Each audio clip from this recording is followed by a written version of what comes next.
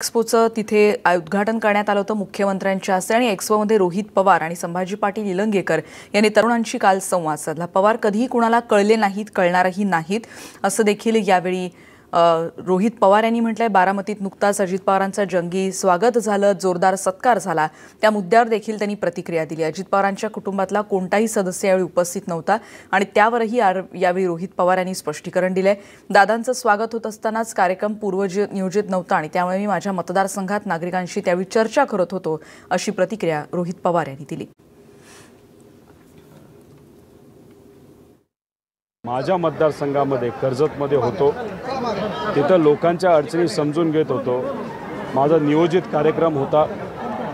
तो जो काल सत्कार झाला तो अचानक ठरलेला होता.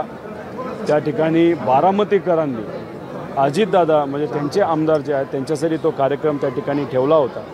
मी व्यक्तिगत दादांशी त्या ठिकाणी बोललो.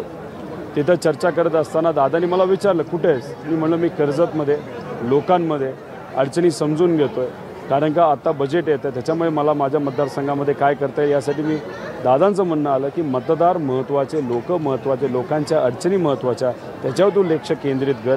ही मिरवणूक ही व्यक्तिगत तिथे असणाऱ्या मतदारांची अचानक ठरलेली मिरवणूक आहे. अनियोजित कार्यक्रम आहे. तर तो दादा हे आमचे आहेतच. काही लोक नुसतं आपलं काही मसाला मिळत नाही म्हणून त्यात ते फूट का पाडण्याचा प्रयत्न करतात. पवार कदाचित लोकांना समजलेच नाहीत. पवार काय चीज आहे हे लोकांना शेवटपर्यंत समजणार नाही.